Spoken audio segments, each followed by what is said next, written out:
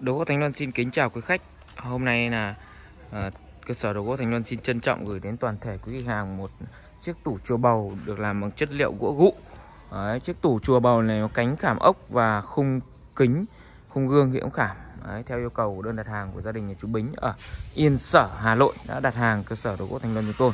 Sau một thời gian dài chế tác và hôm nay chúng tôi hoàn thiện xong phần thiện cuối cùng chuẩn bị đi bàn giao cho gia đình nhà chú Bính ở Yên Sở.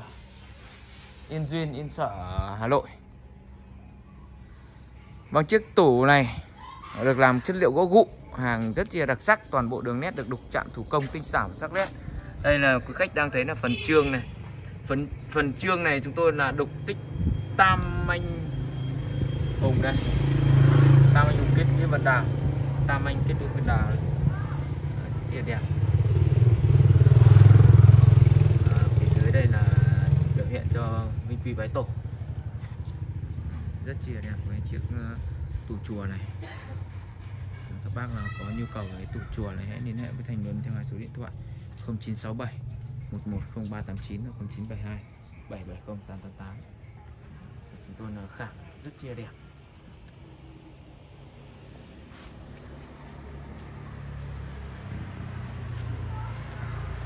Các bác có nhu cầu và sản phẩm hãy liên hệ với Thành Luân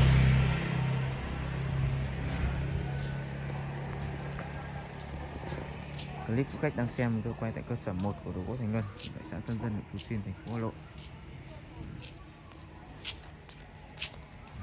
Cái à, buồng giữa này chúng ta đây là gương à, đây là gương này. hoặc là chúng ta mà không thích lắp gương thì lắp kính cũng có thể được. Cái bầu rất chia đẹp.